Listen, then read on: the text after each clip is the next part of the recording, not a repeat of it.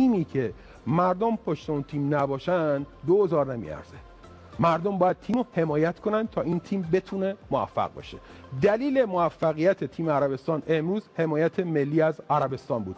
دلیل ناکامی تیم ملی ایران دیروز عدم حمایت ملی از ایران بود.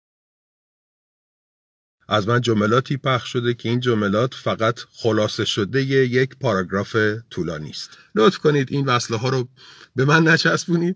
من دلم می‌خواد که کشورم سربلند باشه. دلم می‌خواد که تیم ملی فوتبال کشورم سربلند باشه و مطمئن هستم که این اتفاقم خواهد افتاد. لذا این شیطنت رسانه‌ای رو لطفا ادامه ندید و اگر می‌خواهید راجع به جملات من قضاوت بکنید کل جمله در سایت تلویزیون در سایت شبکه ورزش موجوده. برنامه جام 22 شبکه ورزش موجوده. می‌تونید من یه چیزی حدود نیم ساعت صحبت کردم. چرا فقط چند ثانیهش رو نگاه می‌کنید؟ چرا فقط چند ثانیهش راجبش قضاوت می‌کنید؟